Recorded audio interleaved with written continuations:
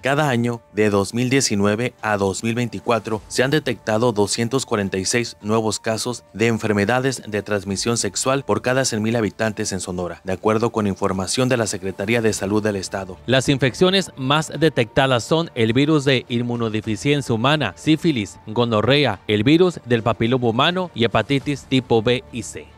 Rael García Gómez, director de Control y Prevención de Enfermedades de la Secretaría de Salud, indicó que los municipios donde se presentan más casos son Hermosillo, Guaymas, Ciudad Obregón, Nogales y Navojoa.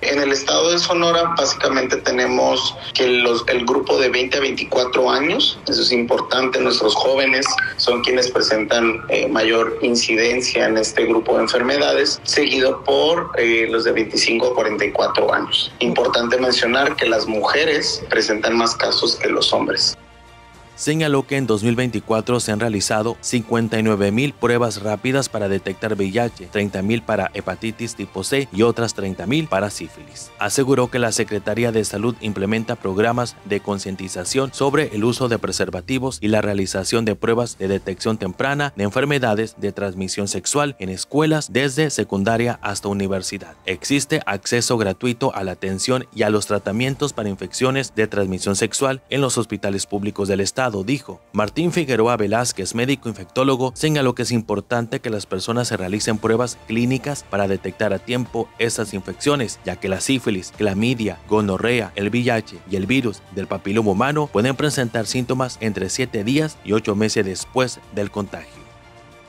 Por ejemplo, hablando de gonorrea y clamidia, hay algunos registros donde nos hablan de ese periodo de incubación y pueden ser desde 7 días hasta 21 días o 3 semanas. Hablando de sífilis, por ejemplo, pueden ser a los 14 días, pero incluso pueden ser a los 3 meses o 90 días.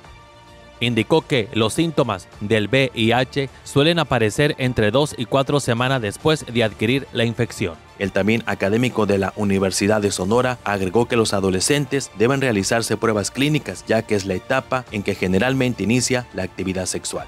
Alan Rubio, Mega Noticias.